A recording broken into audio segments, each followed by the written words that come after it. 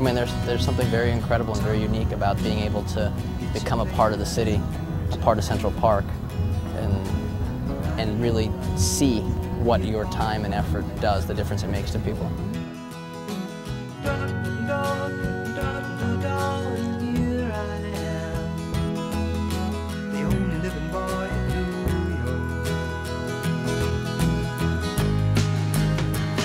Okay, guys, we have a call.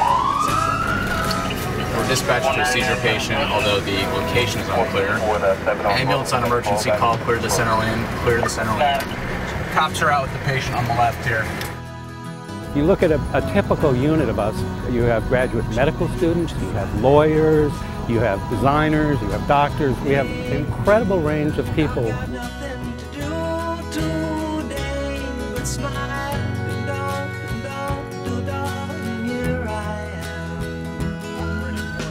Been an EMT just about a year. I like it a lot. Extremely rewarding, extremely challenging. What happened? Um, I think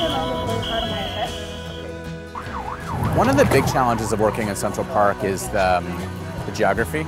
You know, it's 850 plus acres of everything from roads to forests to lakes, walking paths. So we have to know how to get to a call, where it is, the best way to get there, how to get the ambulance there safely.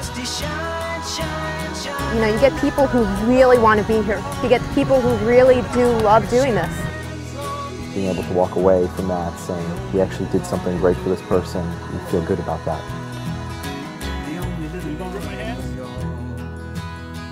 Hey, we're on a call.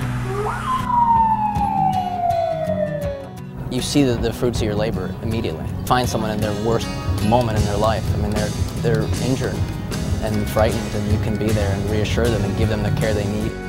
The park is the crown jewel of New York City. Park is beautiful at this hour, isn't it?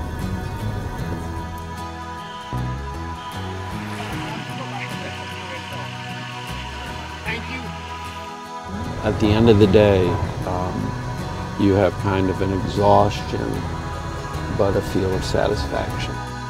You've been able to help a number of people and their families. It doesn't get much better than that.